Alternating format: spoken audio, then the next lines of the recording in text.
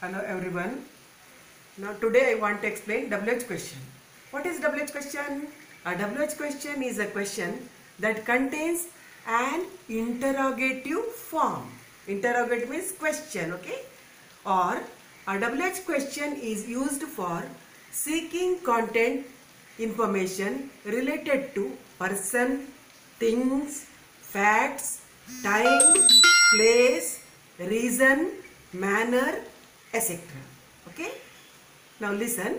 If question related to person or things or facts, then we start with WH words such as who, what, whose, which. Okay? Now, if question related to time, place, reason and manner, then we start with WH words such as when, where, why and how. Now, how to frame WH question to get the underlined word as answer. See, one so small formula. First you write WH word. After that, read that sentence. Then you write auxiliary verb.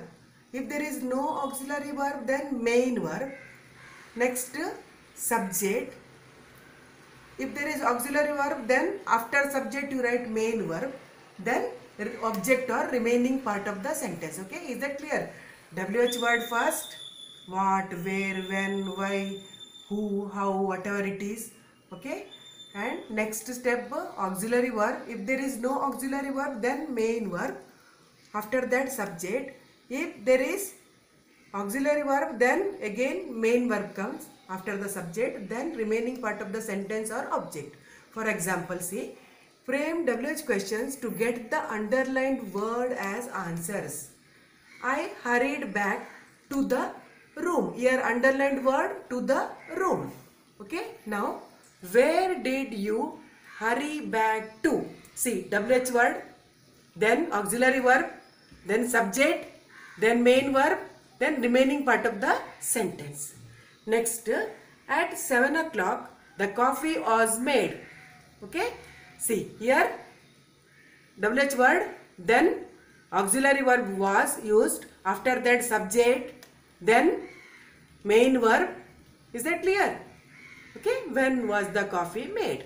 And question mark. You have to write question mark. Okay. Then later he patted me on the head. Here underlined word on the head. Where did he pat me? See here WH word where. After that see the formula. Okay. After that auxiliary verb did. Then subject he. Then main verb pat. Then remaining part of the sentence and question mark. Next example. I found myself in the Maidan. Oh, Underline word in the Maidan. Where did you find yourself? Okay. Sometimes first person change into second person. So here I you changed you and myself you changed yourself. Okay. Next question. Her hair reached below her knee. See, where did her hair reach? Okay, see one more. If there is no auxiliary verb, that time we use does, do, or did. When we use do, plural subject. If subject I, we, you, they, that time you use do.